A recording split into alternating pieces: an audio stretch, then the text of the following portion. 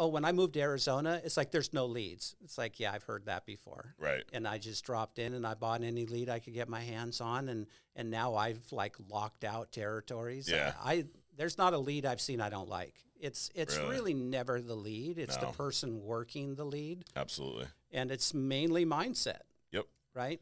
It's funny. I was talking about this with I forget who it was a guest here a few weeks ago, but um, it, really comes down to perspective. Mm-hmm. So you worked at a place where you didn't have leads, mm-hmm. right? So any lead was like a big deal, Right. you know. a- And your mindset going into it is like there's never a bad lead. Right.